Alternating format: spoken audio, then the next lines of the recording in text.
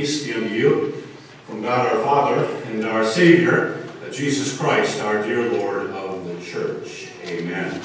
Uh, to begin the sermon this morning, I'm going to have uh, Julie play a video clip from a book that I was given when my daughter Lauren was born, our first child. And some of you parents or grandparents may know this I Love You Forever book. It is absolutely wonderful. It's about eight minutes, so hang in there. Don't worry, I'm not going to preach so long so that we're going to go over one hour, because I know how you all can be. But it's a wonderful introduction into the sermon. So go ahead, Julie,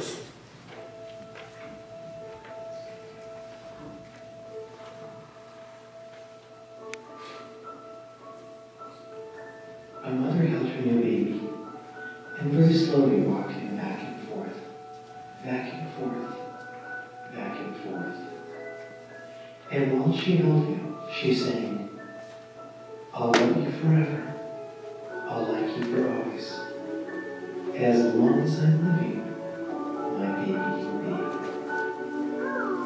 The baby grew. It grew and it grew and it grew. He grew until he was two years old, and he ran all around the house. He pulled all the books off the shelves. He pulled all the food out of the refrigerator, and he took his mother's watch and flushed it down the toilet. Sometimes his mother would say, "This kid, he's driving me crazy." But at nighttime, when the two-year-old was quiet, she opened the door to his room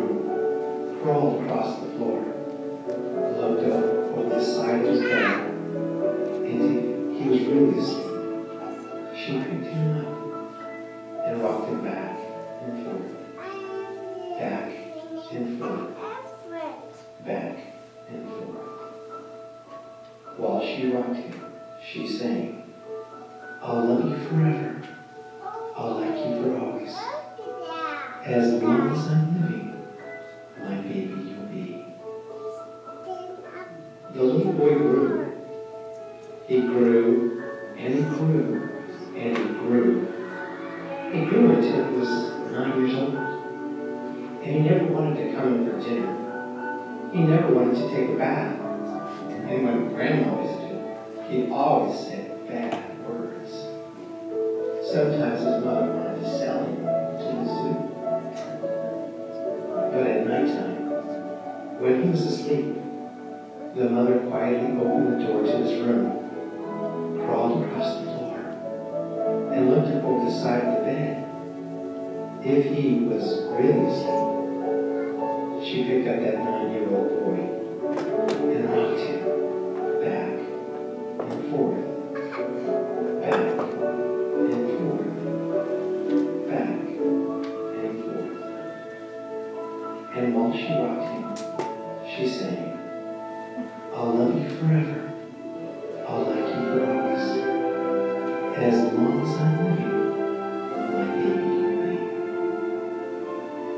Boy grew.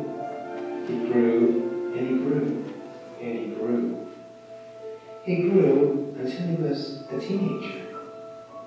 He had strange friends and he wore strange clothes and he listened to strange music. Sometimes the mother felt like she was in a zoo.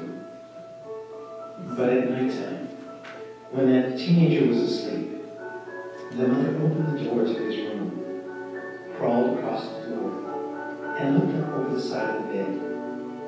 If he was really asleep, she picked up that great big boy and rocked him back and forth, back and forth, back and forth.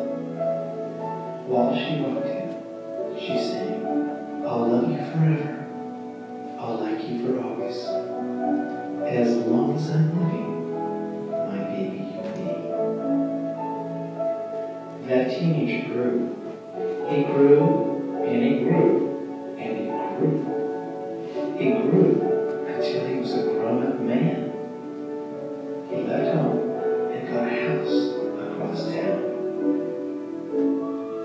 sometimes, on dark nights, the mother got into her car Friday's not that but Grammarly can help. This sentence is grammatically correct. And drove across town.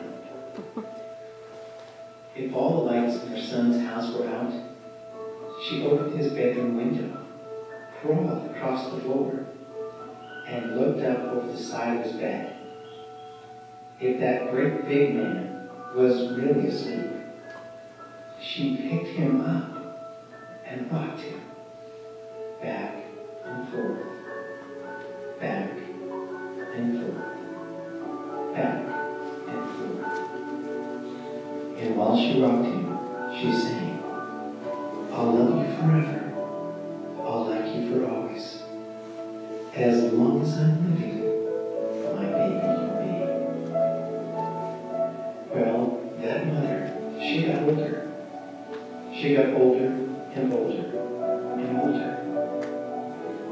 she called up her son and said, You'd better come see me because I'm very old and sick. So her son came to see her. When he came in the door, she tried to sing the song. She sang, I'll love you forever. I'll like you for always. But she couldn't finish because she was too old and sick. The son went to his mother. He picked her up and rocked her back and forth, back and forth, back and forth. And he sang this song. I'll love you forever. I'll like you for always. As long as I'm living,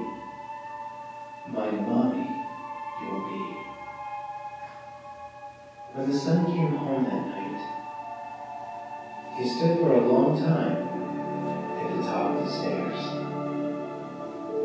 Then he went into the room where his very new baby daughter was sleeping.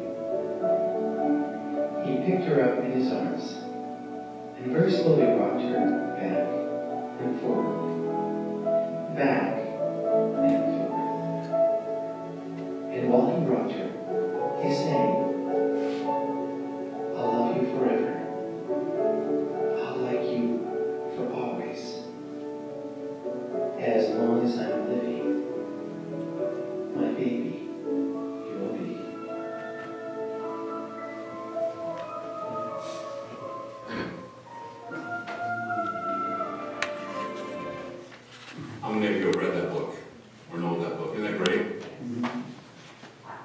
Lord says this Even if a mother should forget her child, never will I forget you.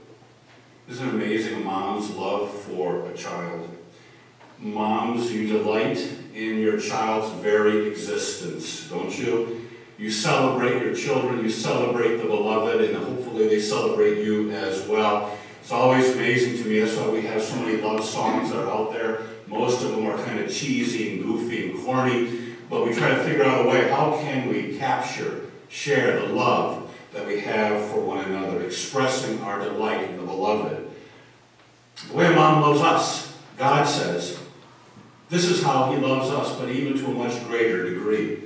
You know, some people have said that God loves us only in spite of ourselves, and of course, there is plenty uh, of things inside you and me for God to love in spite of. But our raggedness is not our whole story. It is not. It's not the whole story about you, and it's not the whole story about me. It may be a very sad thing, it may be a bad thing for some people that I needed God to die for me, but it is a wonderful thing to think that God thinks that I'm worth dying for. We may be ragged, but we must never confuse raggedness with worthlessness. See, God doesn't just love us because He has to, He loves you. He loves me because He wants to. He delights in you. And of course, that doesn't mean that God delights uh, in everything you do. I dare say your own mother didn't do that, right? She probably didn't delight in everything you all did as well. But the very fact that you are, that you exist, is a wonder in the eyes of God. God likes to love you. The psalmist says this We are the apple of his eye. And it could mean we're the little man of his eye, the little boy of his eye, the little girl of his eye, uh, the little woman of his eye. But it's based on the idea when you get really close to someone, when you really love them, and you make eye contact, and you get up close and personal, and you see in their eye a reflection of your image. We're the apple of God's eyes. Now, of course, lovers don't always sing love songs. Sometimes they sing the blues, don't they? So does God. When Israel was a child, I loved him, and the more I called him, the more Israel went away from me, God says. My people are bent on turning away from me. But that's us, and that's our nature. Uh, St. Augustine, the great church father, had this Latin phrase, incurvatus in se. Life is turned in upon itself. We become navel gazers. And what's most important is not so much what God says, what God wants, but what I say, what I want, what I think, and what I feel. And that becomes ultimate. And that becomes transcendent. And so we go our own way. A few Sundays ago, Jesus says, I'm the good shepherd, and he calls us all sheep.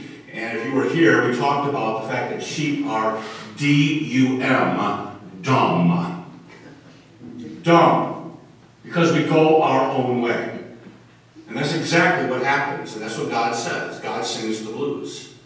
But in spite of the fact that you and I go our own way, God has supremely what lovers, all lovers have to some degree, what Charles Williams, the great writer, called the gift of double vision. I love this. God sees with utter clarity who we are.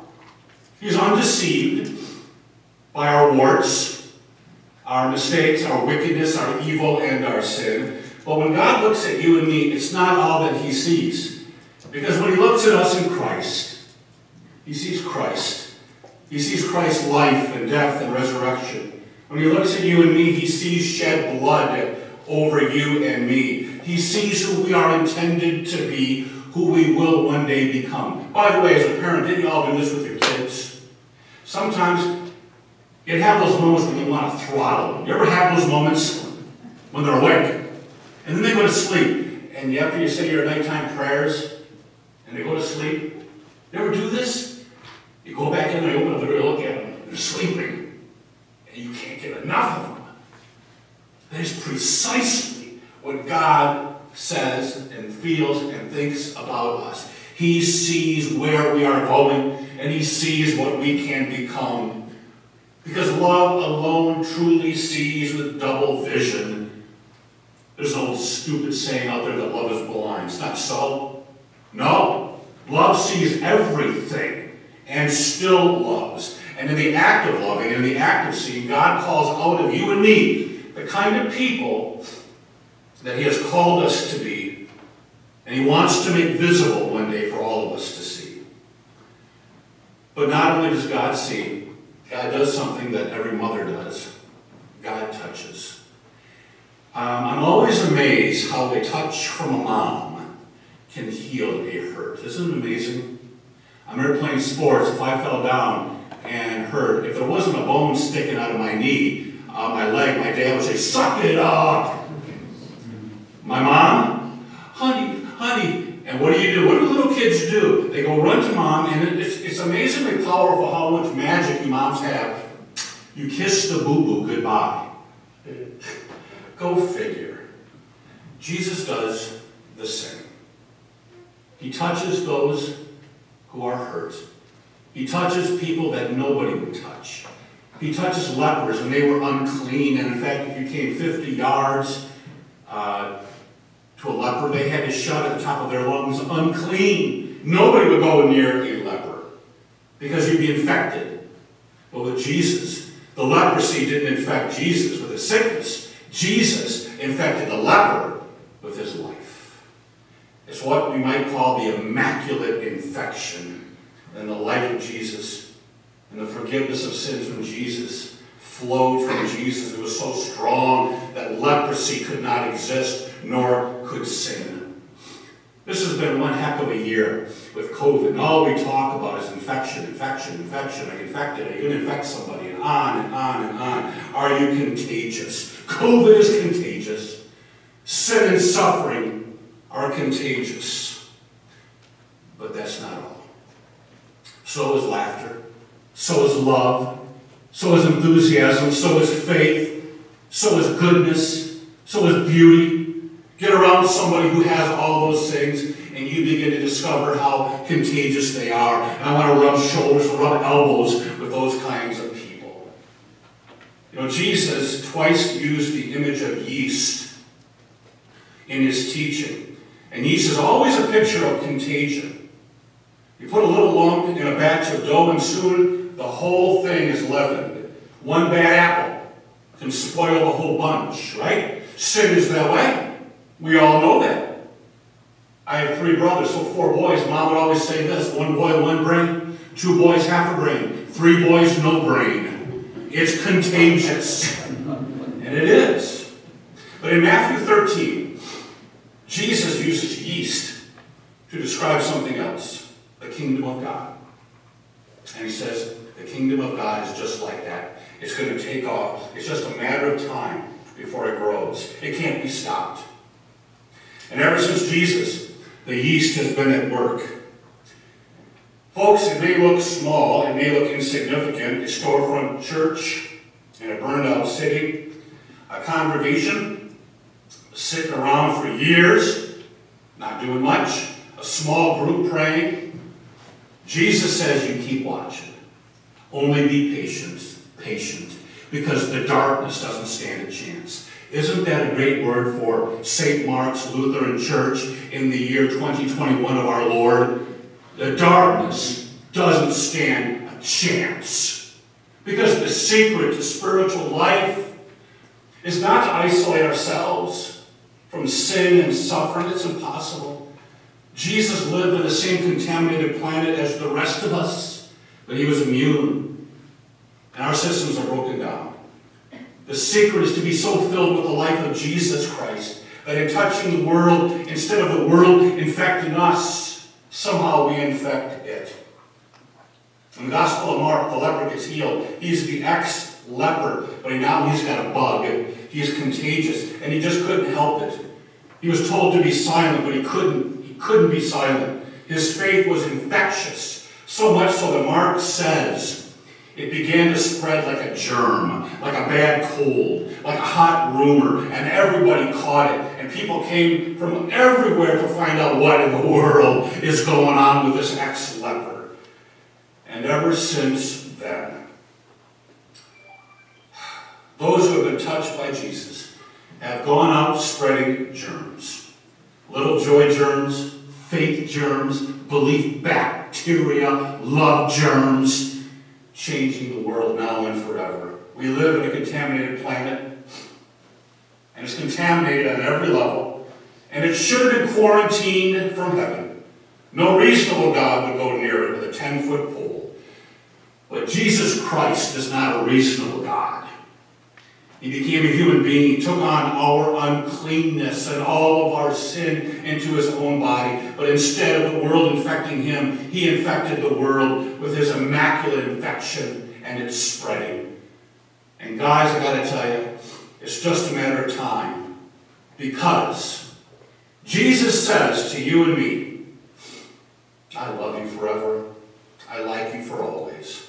My baby, you will be. God grant that for Jesus' sake. Amen. And now may the peace of Christ that goes beyond all understanding keep your hearts and minds through faith unto life eternal. Amen.